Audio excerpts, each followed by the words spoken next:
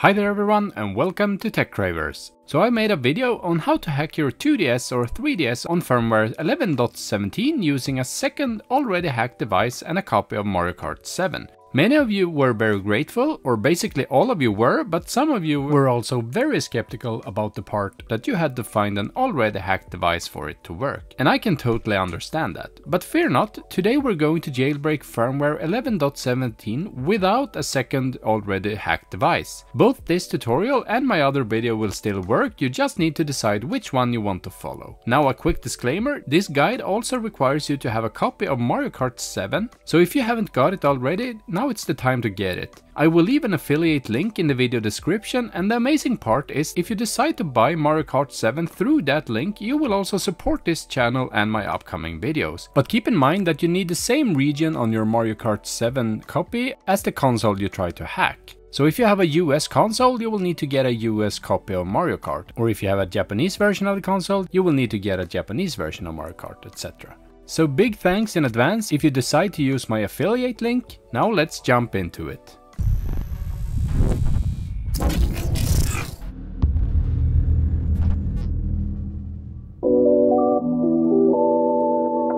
Okay, so the first thing you want to make sure to do is to put your memory card in your 2DS or 3DS at least once. I'm using a 64GB micro SD card and this simple adapter from Samsung. And once you got it out of your device, go ahead and insert it into your computer. Once you insert it in your computer, you should have a folder named Nintendo 3DS that was created automatically when you put it in your 3DS or 2DS for the first time. Go inside the Nintendo 3DS folder and here you should have a folder with a 32 letter name. Copy the name of this folder and put it in a document that you can reference later. This name is console specific and will be different for each console.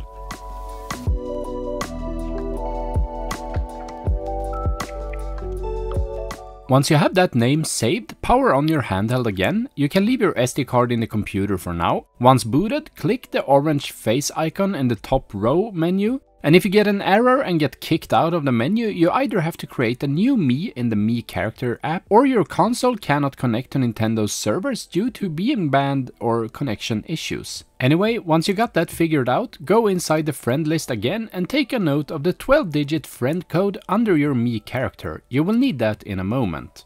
Now go back to your computer. Open up the brute force movable site that I have linked to in the video description. Click on start again. Now enter your console's friend code that we just got without any spaces or dashes into the your friend code field.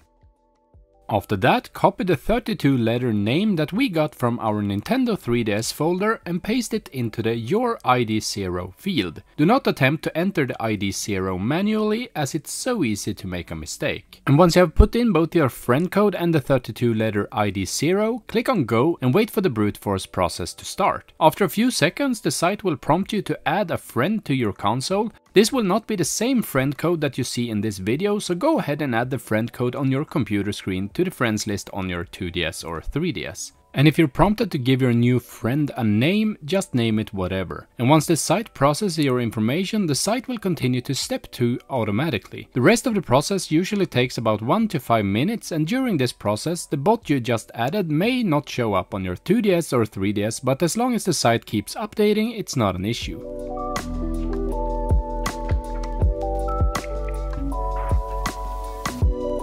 And once it's finished, click on the big green button to download your movable.sed file and power off your console. For me, this process took about 2 minutes. Alright, time for the fun part. Reinsert your SD card into your console and open up Mario Kart 7 either from your cartridge or from your previously bought version from the eShop.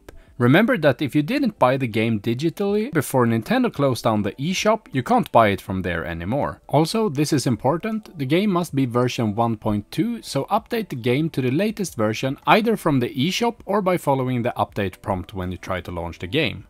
Once the game has started, click on Mario Kart channel at the bottom and if you're prompted to, hit next and OK to all of the prompts you might get. After that, click on Street Pass list at the bottom. Then click your home button to suspend Mario Kart 7. Disable wireless connections by navigating to the home menu settings at the top left and switch wireless communications off. then power off your console and insert your micro SD card into your computer again. Back at the computer, head over to the What You Need section in the 3DS Hacks guide, and I have of course a direct link to that section in my video description. Here you can see that we need a Windows computer, the movable.sed file from before, and a bunch of files that we get from clicking the links in the list. And I guess you're wondering why you need a Windows computer, and that's because the CartMiner hack is Windows command files and won't launch correctly on Mac OS or Linux. And once you have downloaded all the files, put them on your computer desktop so they will be easy to find. Back at your desktop, these are the files you should have. Just do as I do here and you should be fine. Start by opening the Luma 3ds zip file and copy the boot.firm and boot.3dsx from the zip file to the root of your SD card. Now create a folder named boot9strap on the root of your SD card. Open the boot9strap zip file from your desktop and copy the boot9strap.firm and boot9strap.firm.sha from the zip file to the boot9strap folder that you just created. Now copy the safe b9s installer.bin from its zip file to the root of your SD card. When that is done, create a new folder on the root of your SD card named 3ds if it does not already exist. Copy the nim.dsfax folder from the nim.dsfax zip file to the 3ds folder you just created. Then copy the menuhacks67 underscore installer.3dsx from the menuhacks zip folder to the same 3ds folder.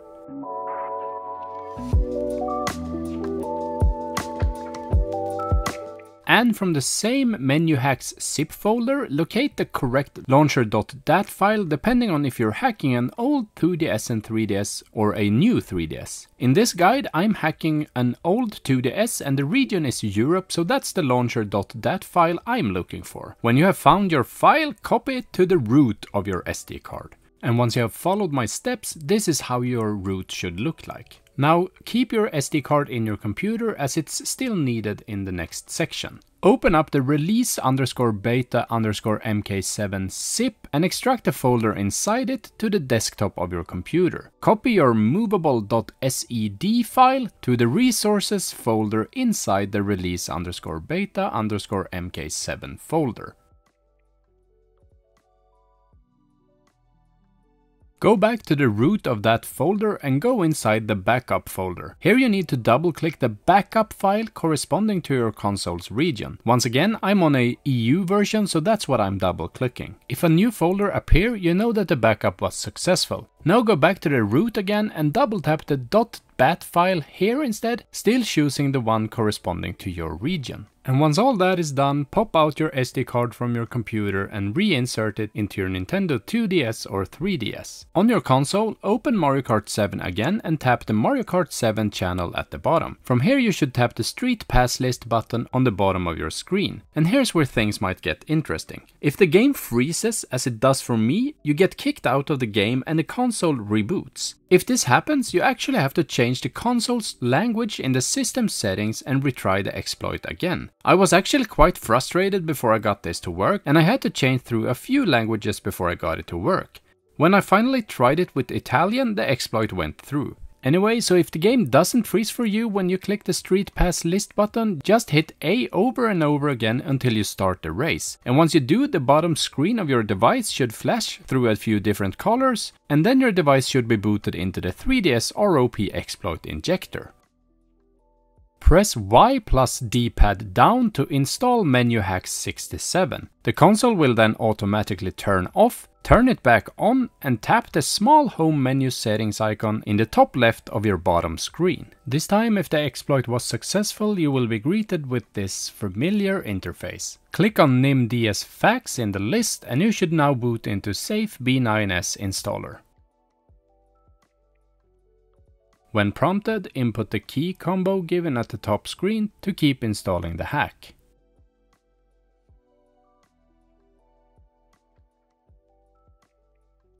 And once that is complete, press A to reboot your console.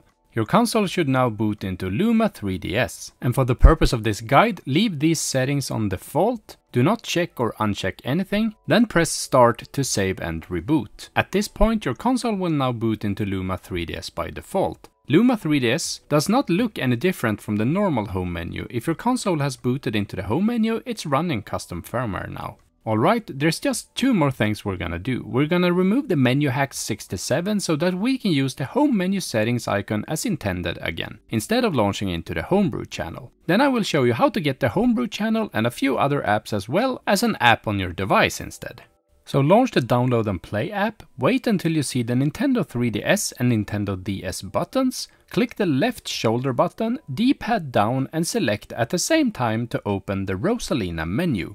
From there, scroll down to miscellaneous options and then click switch the HB title to the current app. Press B a few times until you exit the Rosalina menu, then click the home button to suspend download and play, then click close to close the app Relaunch the app and you should now launch into the Homebrew launcher instead. From the list, launch the Menu Hacks 67 installer, select Remove Menu Hacks 67 and when you see Done, press A and then exit to Menu and you can use the Home Settings menu again. At this point you can re-enable wireless communications again. And now it's time to fix the Homebrew apps and we can call it a day. Pop out your micro SD card and put it back into your computer. From your computer, go to the What You Need Finalizing section that I have linked to in the video description and download the finalizing.zip. You don't need to download the latest release of Luma 3DS as we have already done it. Copy the contents of finalizing.zip, which is finalize, GM9 and Luma, to the root of your SD card, merging and replacing any existing folders if prompted. Once done, pop out the SD card from your computer for one last time and reinsert it into your 2DS or 3DS. And turn off your console if you haven't already done that. With the SD card inserted, press and hold start while powering on your console to launch God Mode 9. If you're prompted to create an essential files backup, press A to do so and then press A to continue. If you're prompted to fix the RTC date and time, press A to do so and then set the time and then press A to continue. Now press Home to bring up the action menu, select Scripts and then select Finalize. Follow the prompts in the script answering any questions that you are asked. After a while, once the script says Setup complete, press A to power off your device. Once you power the console back on, you will be greeted with some new presents on your home screen containing all the homebrews you need to get going. It's been a pretty long journey, but now we have hacked our old 2DS or 3DS using nothing else but a copy of Mario Kart 7. I hope that this video helped you out and that you enjoyed watching it. If you did, maybe you might want to give it a like and also give it a comment. Don't forget to subscribe to my channel if you want more content like this from me in the future. Thanks for watching, TechCravers out!